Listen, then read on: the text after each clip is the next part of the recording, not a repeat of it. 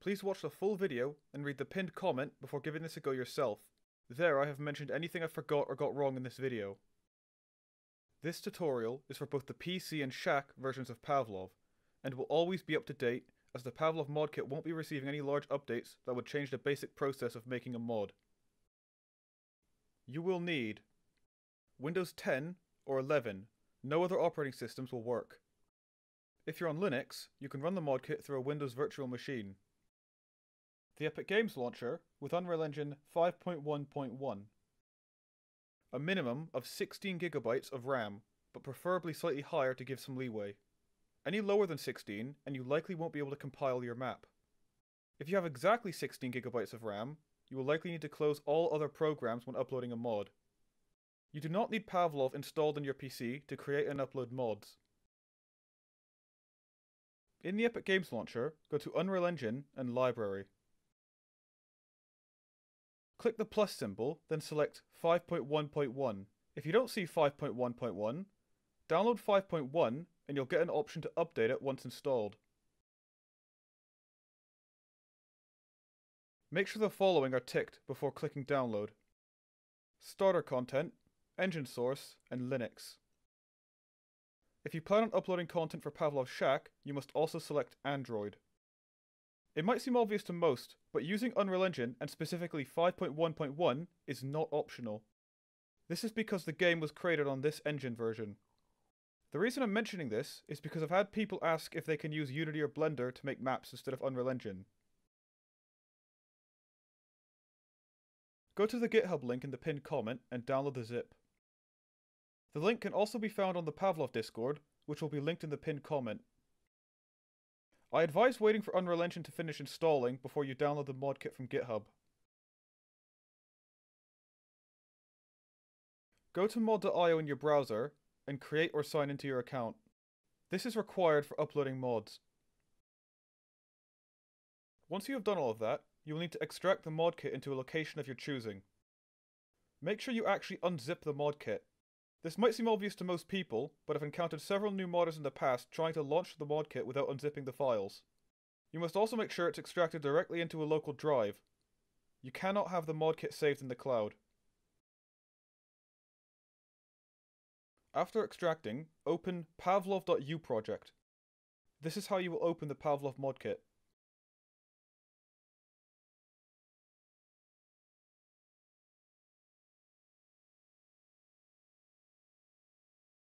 If you are prompted to choose an application to launch with, select Unreal Engine and set it as the default.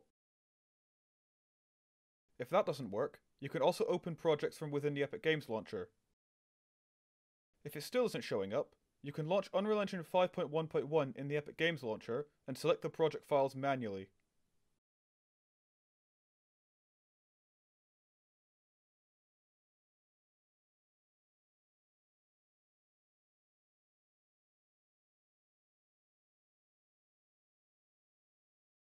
The first time you open the mod kit, you will be prompted to accept an EULA. You must accept the EULA to use the mod kit. Once you've opened Unreal Engine, click on the Windows tab at the top left of the screen and make sure Pavlov Workshop is ticked. Drag the new window and merge it with the main window. Go to the Pavlov Workshop tab, then Account, and log into your mod.io account. I'm using the Unreal Engine 4 layout in my project. You can switch to this by clicking on Window on the top left, going down to Load Layout, then clicking UE4 Classic Layout. This is not required, but may help with following my guide. Once you are logged in, go to Create Mod. In Pavlov, you can create maps, content mods, and game modes all separately. In this video, I will just be showing how to create a basic map. If you want to make standalone content mods, my guide for that will be in the pinned comment. I advise finishing this tutorial before attempting content mods. Enter your map's name and description. You can edit these at any point, so type anything you want. Select Map. Clicking Create Mod will create your map's UGC folder. Return to the main tab and your newly created UGC will be open. The UGC folder is the folder for your map or mod's content. Every custom asset used in this map or mod must be included in this folder. If you save your assets outside of this folder, they won't be included when compiling, so they won't appear in game. You can have as many different UGCs within the same Pavlov project as you want. Each UGC is a different map or mod. Go to File, New Level, and select Basic, then Create.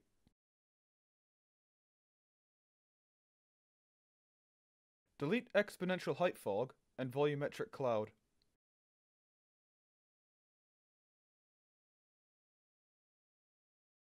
Select Floor and Sky Sphere and set their movability to static. Manually set Directional Light, Sky Atmosphere, and Skylight to static. Pavlov only supports static lighting, so all lights must be set to static. You are able to set your skylight to movable, however it's still better for performance to keep it static. If you're on PC, you can probably get away with a movable skylight. Click Save All, then decide your map's location and name. This is just the map's file, so you can name it whatever. It must be saved somewhere inside the UGC. Go to the Place Actors tab and add a Sphere Reflections capture. Make it encompass your whole playable area. Make sure to build all reflections before uploading, or all your items and weapons will be dark and non-reflective. Go to Build, Build Reflection Captures.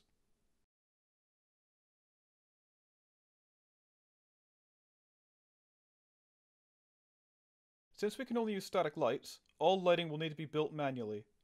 Go to Build, Build Lighting Only.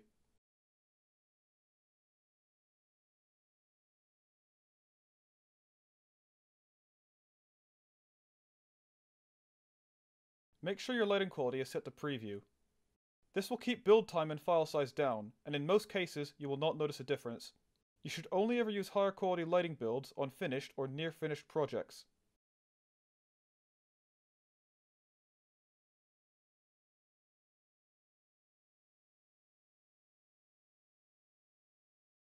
In Place Actors, search for Pavlov Game Logic, then drag this into your level.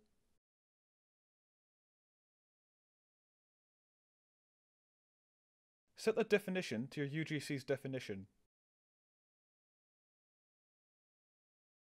Set global info class to Pavlov underscore global info. Set player info class to Pavlov underscore player info. Set player proxy class to Pavlov underscore player proxy. Search for spawn and drag Pavlov spawn into your level. Set the team ID to 1 for red, 0 for blue, and minus 1 for either team. Tick special if this spawn is meant for an S&D map.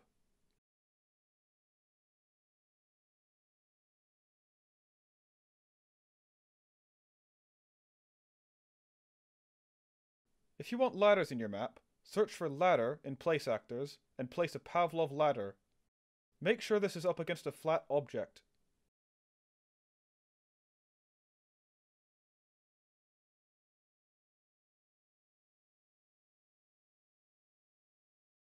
Search for kill volume in place actors and drag a Pavlov kill volume into your level. Place this below your map, so anyone who glitches through the floor will be killed instead of falling indefinitely.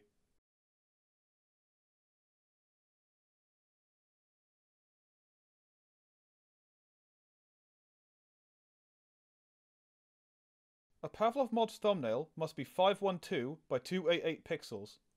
You can create this however you want.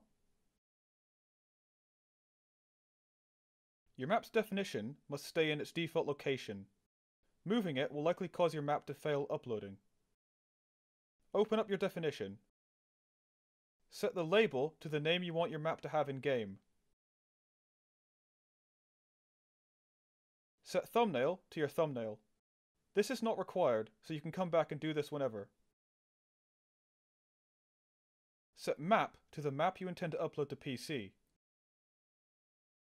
If you want to upload a map to Shack, then set your map where it says Quest Map. If you want to upload to both Shack and PC, you can have a separate map for both or use the same between them.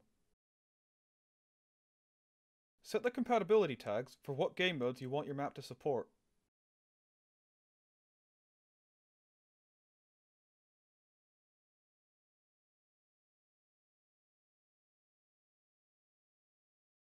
Click Save All again to assure everything so far is saved. Go to the Workshop tab. Go to Upload Mod and select your UGC from the list. The window for uploading must be full screen or you likely won't be able to see the list of mods. If you're uploading for PC, tick Windows. If you're uploading for Shack, tick Android. You can tick both if you'd like to upload to both PC and Shack back to back. Share Mod Assets allows you to upload your UGC's project files. This option is only available for mods and not maps. This is not required and should only be selected if you are fine with your assets being shared publicly. You can view other people's mod assets in the Download Source plugin tab. When ready, click Upload Mod. A console will appear and give some output for a few minutes. This console is the map compiling. Your first time compiling a new map will always take longer than normal. If the console keeps repeating the same string of text over and over, then you can cancel and forget uploading, as you likely don't have enough RAM to upload.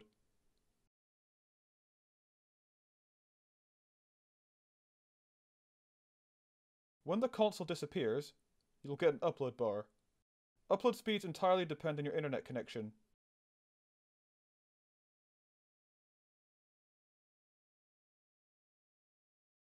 If your upload fails, open the output log and look for the most recent red error.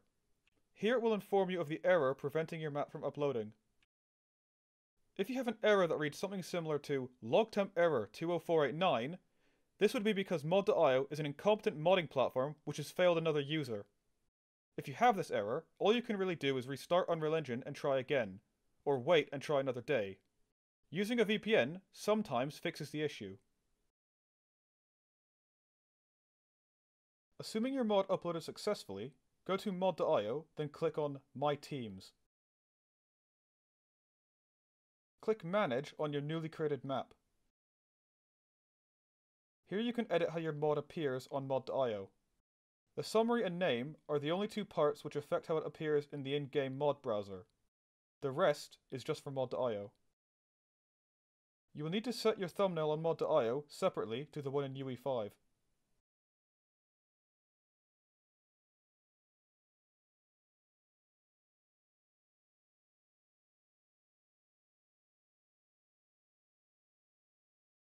In order to load your map in game, you will need to click Go Live, which will make your map public.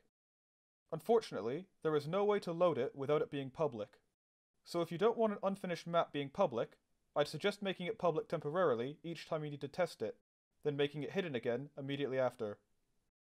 If you're working on a project you don't want to announce publicly, I'd advise keeping the name and description vague until you're ready to release the map.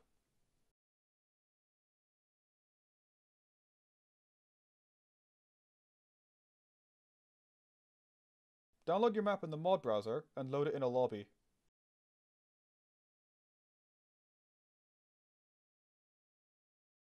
I suggest testing your map on Team Deathmatch.